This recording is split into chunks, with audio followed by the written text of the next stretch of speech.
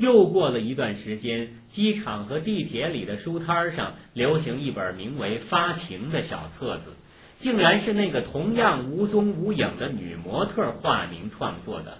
书中淋漓尽致地描述了女模特与四十个不同阶层的男人们的床上隐私，社会影响力和历史价值较之《金瓶梅》毫不逊色。那些被细致描述床上功夫的男人们，包括名记者、名山谷、名导演、名教师、名官员等等。张照作为名画家，自然也在其列。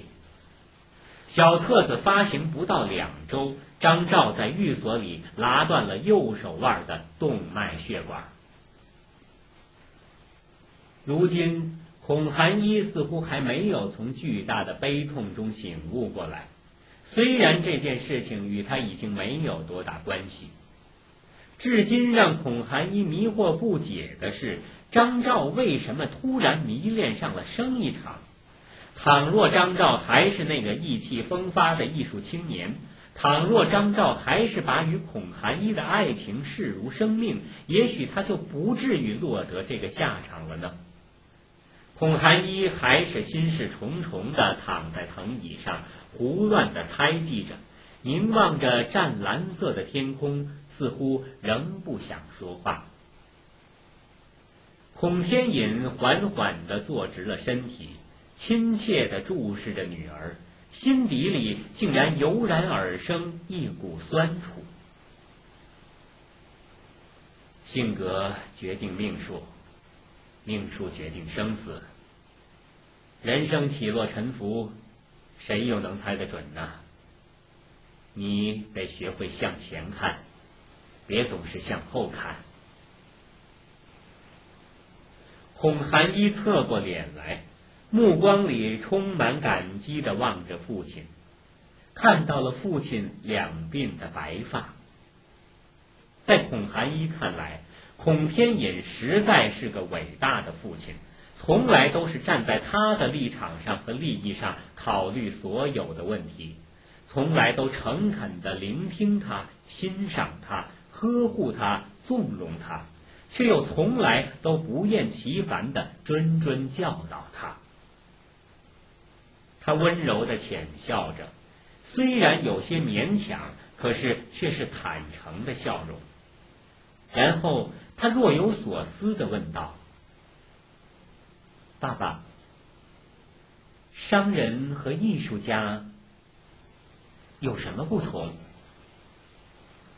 孔天隐始终温和的凝望着女儿，心里自然知道孔寒一是想到了张照自杀的事情。于是他认真的琢磨了片刻，又长长的叹了一口气，缓缓的说道：“艺术家和商人都是研究人的，可是艺术家为名，商人为利。那个年轻人也许天生是个艺术家，所以根本不能做商人。”孔寒一仍是躺在藤椅上，侧着脸庞，体会着父亲说的话。过了一会儿，他突然平静的问了一个实在是尴尬难解的问题：如果张照还是画家，只是个画家，您会真心的喜欢他吗？孔天隐慢慢的转过脸去。又重重的叹了一口气。说实在的，孔天隐并不喜欢张照，或者说他不喜欢任何与生意无关的人。可是他总不能告诉女儿说自己不喜欢张照吧？那无疑就是否定了女儿以前的审美情趣了。他也总不能违心的说自己喜欢张照吧？那样肯定会让孔寒一对那个死去的画家念念不忘的。盘算了一小会儿，孔天隐折中的说道：“凡是你喜欢的，爸爸都会喜欢，爸爸永远都支持你。”孔寒一也转过脸去，凝望着天空，然后他用疑虑和无奈的语气继续问道：“哥哥也会支持我吗？”孔天隐敏感地望了孔寒一一眼，然后又迅速的转过脸去，端起桌子上的玻璃杯，慢慢的沉思着，并没有喝杯子里的冰水。然后他的语气有些沉重，缓缓的说道：“他是你的哥哥，当然是会保护你，这一辈子都会保护你。”爸爸向你保证，我死以后，你肯定也会终生幸福的。我向你保证，你相信爸爸吗？孔寒衣礼貌的转过脸来，微笑的点了点头。又过了一会儿，孔寒衣突然坐了起来，望着同样坐着的孔天隐。他的神色有些严肃，又有些尴尬，又有些迷茫。接着，他就问了一个非常突兀的问题，而且语气也有些迫切：“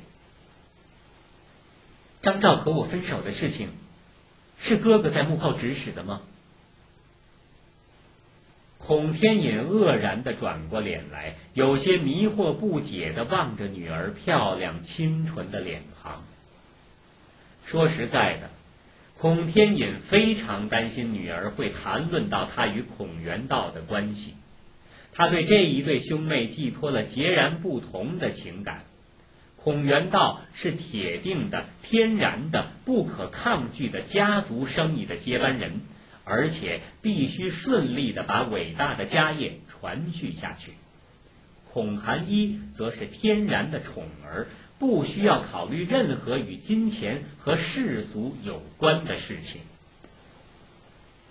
可是，孔天隐的这两个家庭的意愿之间似乎开始有些冲突了。比如说，孔元道悄悄的拆散了张兆与孔寒一的爱情，又悄悄的让张兆间接的沦为天通的摇钱树，并且直至死亡。又悄悄地把哈伊曼拿到生意场上作为作秀卖弄的工具，可是孔元道也不是要刻意伤害孔寒一呀，也是要为了推动家族的伟大生意呀，也是与孔天隐的为商之道不相违背呀。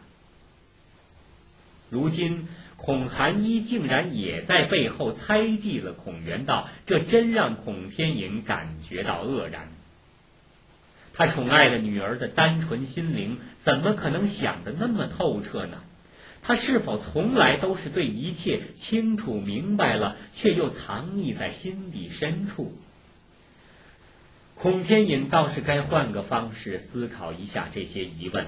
例如，伟大的投机家的女儿，经常与伟大的生意人聊天畅谈的姑娘，继承了伟大的生意人的智慧的年轻人。怎么可能是个头脑简单的人呢？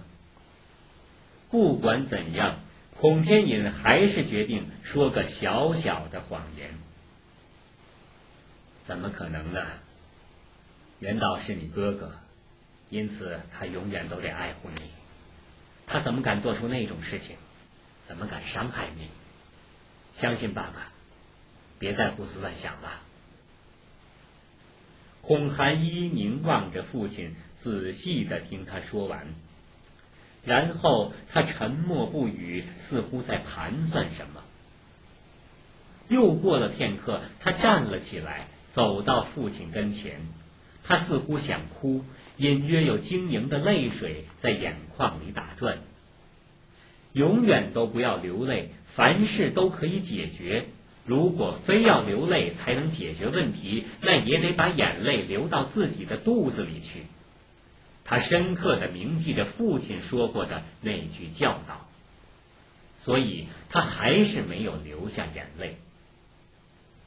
他慢慢的坐在了父亲的腿上，那是六十岁老人的坚强的双腿，也是走过无数风雨的双腿。他亲密的搂着父亲的脖子。轻轻地把头靠在父亲的肩膀上。他看到了小花园里的鲜花，闻到了淡淡的花香，体味了阳光的温暖，感受了清风的柔和。过了一会儿，他还是流下了眼泪。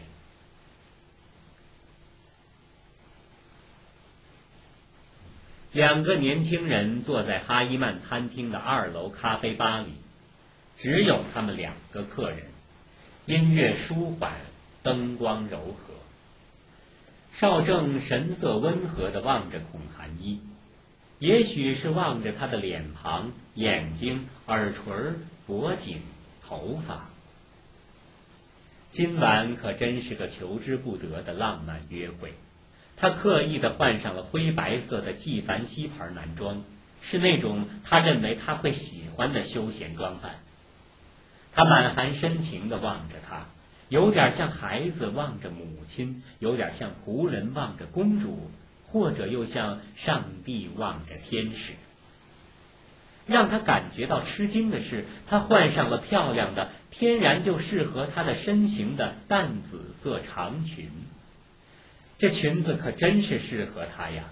严格的说，所有剪裁得体的裙子都应该适合她，因为她的身体实在是太完美了，至少在她的眼睛里就是这样。对于一个很少穿裙子的姑娘来说，突然穿上漂亮得体的裙装，应该就是个好兆头。他温和的凝望着她，心里喜滋滋的想着：他可真算是不容易呀！这么多年来都孜孜不倦的追求她，从来也没有强迫过她，从来也没有松懈过。不过现在一切都好了，他至少开始接受他的邀约，而且他们的相处还算是友好愉快。孔寒一也非常平和地望着邵正，觉得这个年轻的商贾也没有什么不好的。他年轻英俊，富有才华，生意蒸蒸日上，既有中国男人的儒雅中和，又有美国男人的幽默阳光。生活可真是奇怪呀！稍微换个角度，感受就完全不同了。可悲的是。很少有人愿意变换角度看问题。他仍然是首先开口说话，事实上每次都是这样。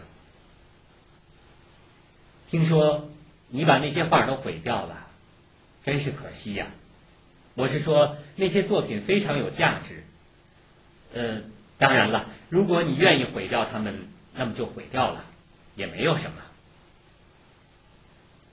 他说这些话的时候，就像一个生意人放弃到手的金矿那样，充满遗憾。他浅浅的笑了笑，有些勉强，似乎压根儿就不想谈论这个话题。首先，他当然不喜欢谈论感情的伤疤，而且他知道邵正是为了刻意迎合他才去谈论绘画。现在他不想让他那么为难。所以他还是把话题转到了他最熟悉的生意上。听说你的公司在美国上市了，真是替你高兴啊！听到孔寒一谈论生意，尤其是谈论邵氏集团的生意，邵正自然是异常兴奋。所以还是美国的钱好赚吧。眼下生意人都挤破头的去美国上市，不过美国的资本家可不是傻瓜，他们疯狂的购买中国的股票，慢慢的就控制了中国的生意命脉。上市还是有诱惑力，许多商人摇身一变就登上富豪榜了。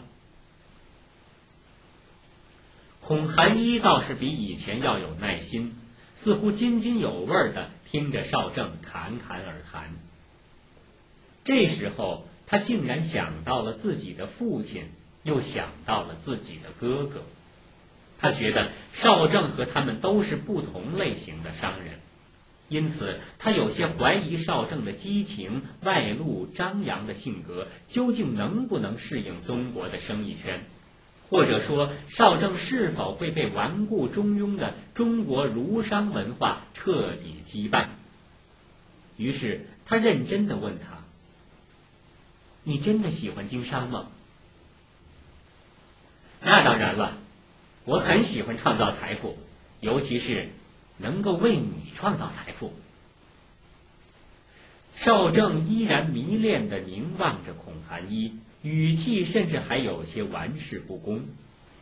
邵正当然不知道孔寒一的真实意图，竟然是质疑他作为商人的素质。因此，邵正的回答更加让孔寒一觉得他还是个稚嫩的商人。你会是个好商人吗？他继续问他。只要你在我身边，只要有你在，我就是最好的商人。他并不太喜欢这种浮夸的言谈，觉得那丝毫也没有东方式的商人智慧。当然了，他不会把这种情绪表露在脸上，因为孔天银早就教会他沉静内敛的禀赋了。商人是讲究利益的，而不是情感。他说出这句话的时候，语气竟然非常的平静。他甚至觉得不应该说出这句话，觉得这样实在是太直接了一些。于是他就顺势的端起了咖啡杯，也许喝咖啡的动作稍微可以遮掩一下他的尴尬。邵正却依然灿烂的笑着，他的智慧的眼睛、乌黑的头发、洁白的牙齿，看上去都融化在笑容里。也许他是沉醉于孔寒一的美丽面容里了。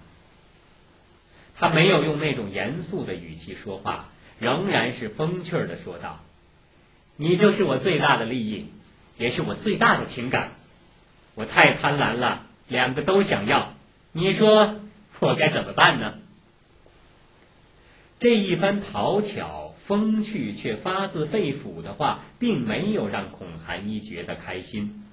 相反，他还是觉得难以接受这种美国方式的思维方法，或许是觉得这种思维方式不是足够的安全，尤其是在中国的生意圈子不是足够的安全。即便是这样，他还是给足了他面子，接着他的话说下去：贪婪是商人的天性，也是商人的天敌，每个商人都得小心谨慎。否则，贪婪就会首先疯狂的成全他们，然后再用同样的方式打败他们。邵正满脸惊讶的望着眼前清纯动人的姑娘，望着她清澈明亮的眼睛，心底涌出一股难以名状的快感。他早就知道孔寒一是个聪明智慧的姑娘。可是没有料想，他对生意场上的是非礼道揣摩的如此清楚透彻，这可真是如了他的愿望了。因为他实在是喜欢美丽、善良又聪明、智慧的姑娘。于是，他也开始严肃认真的跟他谈论生意场上的是非恩怨了。这个晚上，他们交流的还算愉快。似乎没有觉得生意场是个多么沉重的话题。事情的进展比所有人预料的都要快一些，也比所有人预料的都要简单一些。高利民还没有熬到夏天需要避暑的季节，就顷刻之间人仰马翻了。他与那个中年女歌星在那个海边别墅里最后疯狂了一个晚上以后，次日就被双规了。政府还没有等到他在规定的时间交代问题的时候，高利民就在规定的地点突然意外的脑溢血暴死了。那个中年女歌星也立刻被禁演了，然后她的家庭也支离破碎。即便如此，女歌星也不需要为生活发愁。据说有几家演出公司打算和她悄悄的签约，在私下的场合走学演出，或许还可以设法到国外去巡回演出。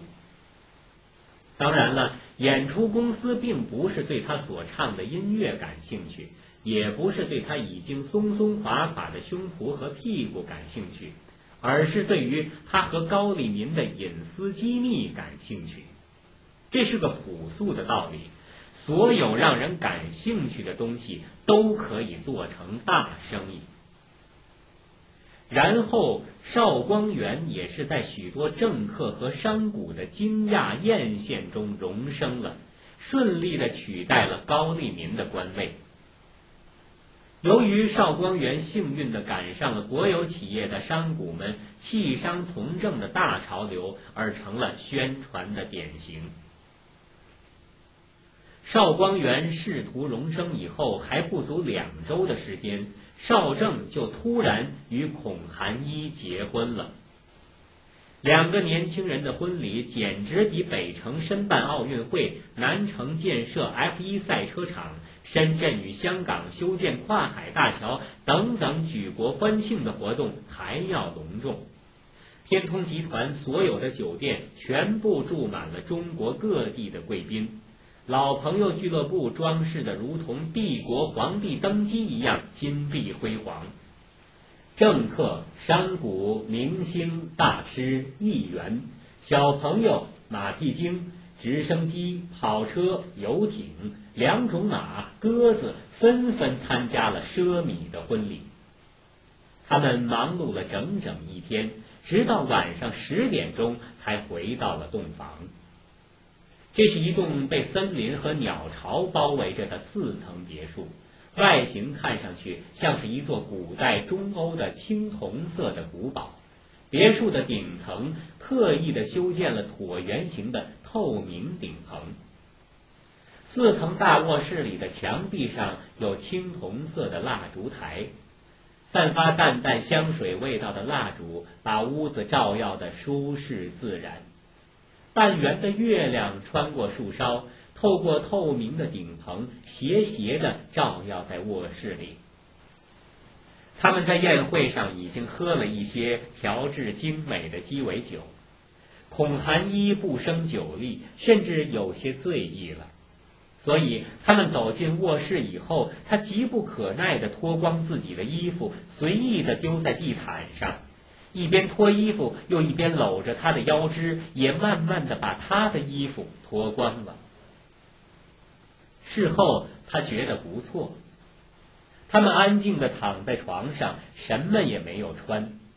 这是少正第一次看到孔寒一那么大胆，那么放得开，那么不受约束。他幸福极了，也有些迷惑。绝对没有想到，他在新婚夜晚就当着他的面儿一丝不挂。孔寒一坐了起来，披上洁白色的绸缎睡衣，轻轻的下床，走到了窗户前面。窗外一轮明月仍是弯弯的、低低的挂在空中，也像是挂在了树梢上。他也下了床，走过去，从后面温存的抱住她，双手还是轻柔的握住她饱满的乳房。我要送你一份大礼，想知道是什么吗？孔寒一幸福的笑着，回过头望着他，又摇摇头。他顺势低下头，在他顽皮的嘴唇上轻轻吻了一下。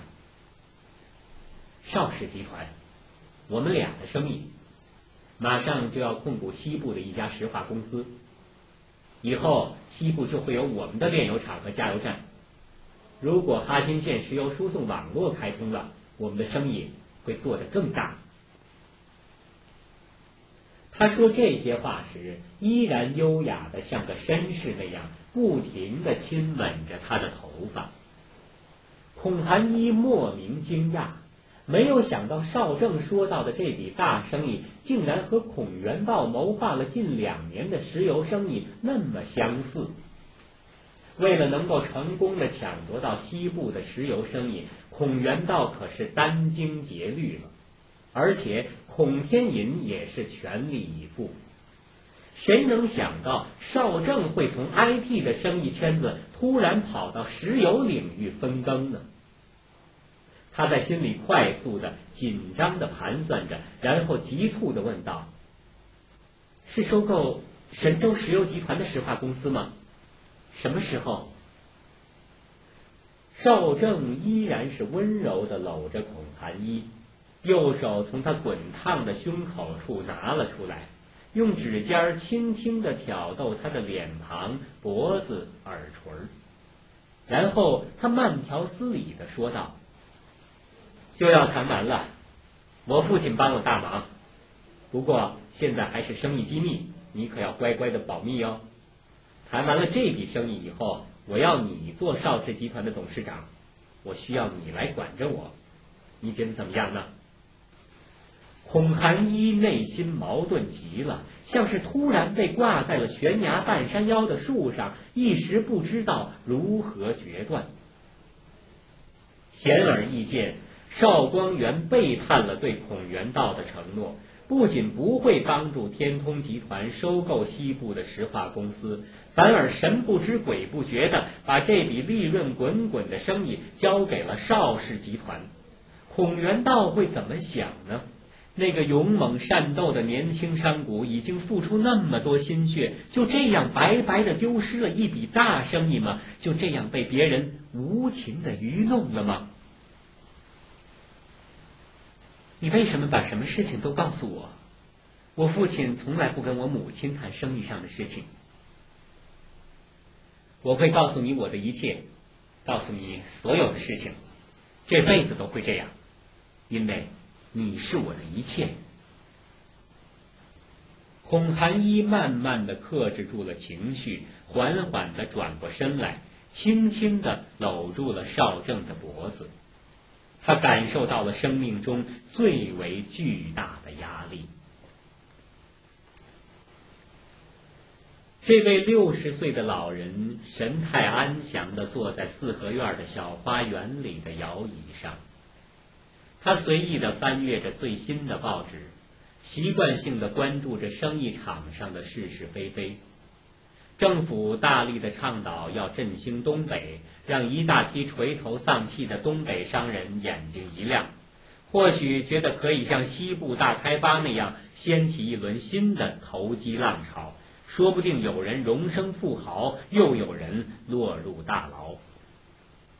孔天隐还是留意了天通的生意，他的出色的接班人领导的天通家族又在北城的郊外购买了一大片土地。据说是要开发一座古罗马风格的城堡。如今，地产生意圈子里的山谷们崇尚造村、造城、造镇。虽然政府和银行的态度还是非常强硬，商贾们照样还是大腹便便的往前冲。政府组织了各种各样的调查小组。分散到各个城市去清查非法占用土地的商人，结果收效甚微，反倒给贪污腐败的官员和擅长贿赂的高手们留了空子去钻。当然了，也有那些愣头青和烂番薯被清查出来，顷刻间富翁变穷鬼，全然威风扫地。孔天隐不禁撅了撅嘴巴，又使劲儿的皱了皱眉头。接着，他又看了看最新的富豪排行榜，又有一批新商贾崭露头角了。有人在内蒙古挖金子，变成了富翁；有人在中俄边境走私电，变成了富翁；有人开了个让男女虚拟做爱的小网站，变成了富翁。有人争夺埋在地下的电话线，变成了富翁；有人靠着美国股票市场的庄家操控，也变成了纸上富翁。不管怎样，孔天隐都不会加入富豪榜，因为他实在不喜欢张扬，而且那些虚假的名分能有什么好处呢？靠势力赚钱的报纸还罗列了许多人仰马翻的商贾前辈，说祖国西部的金融大亨行将破产倒闭，北方的汽车大亨至今被美国政治庇护，南方的走私大亨即将被引渡回国受审，专门造村造镇的地产大亨被抓投入牢狱，蜚声海内外的南城大亨身陷囹圄等等。报纸还装模作样的怒其不争，哀其不幸。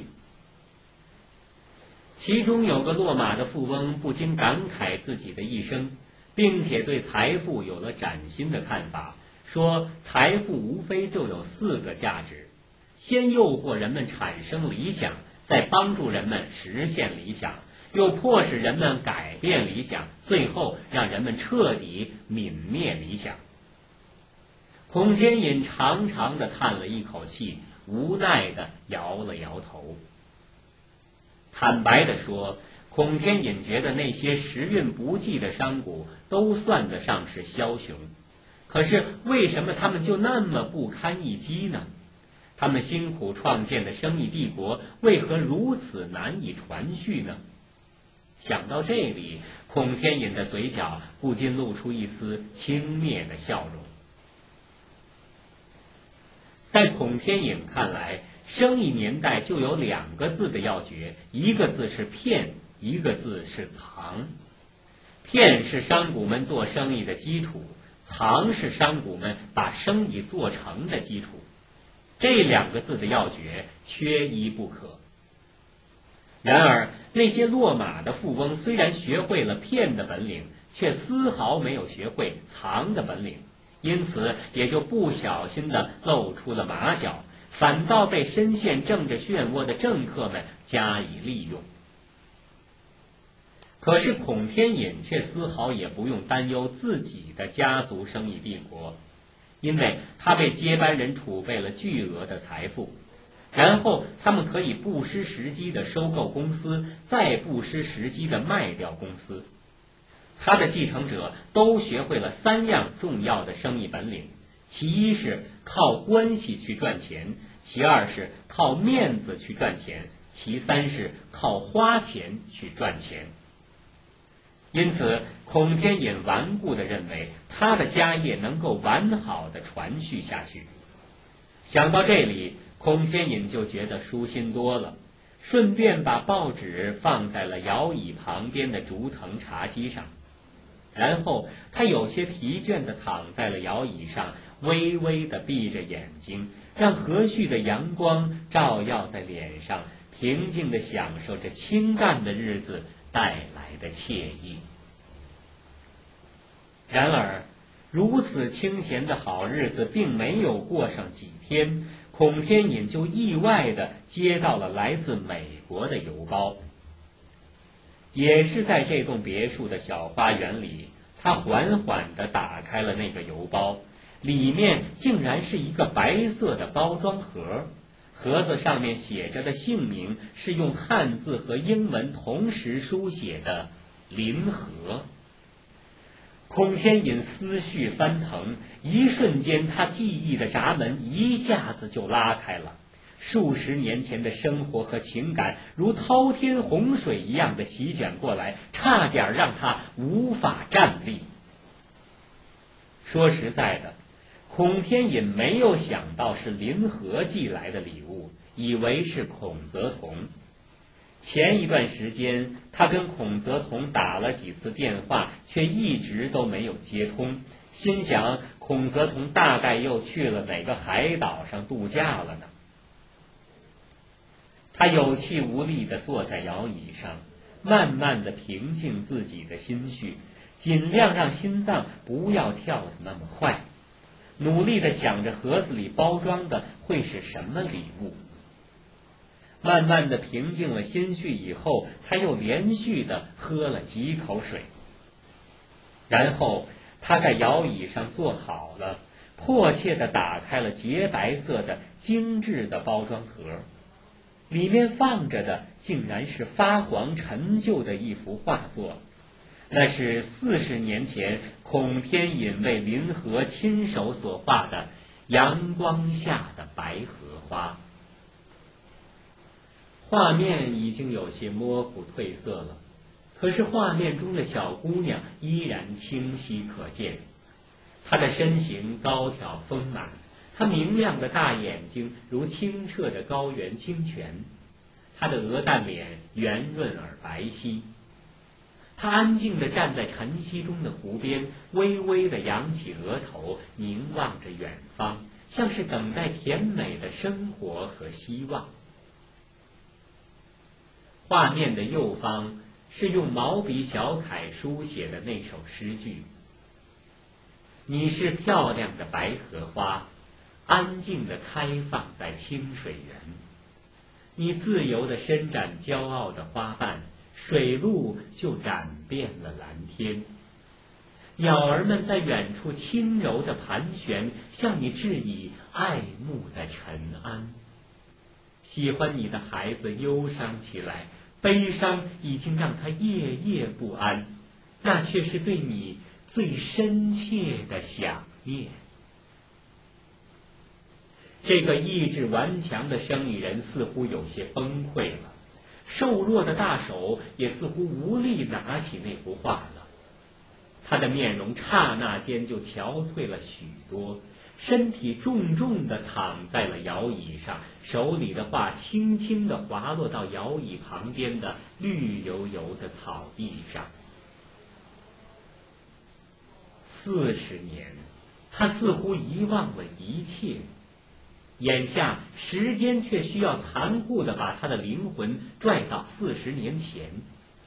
他怎么可能控制自己的情绪呢？他又怎么可能控制时间呢？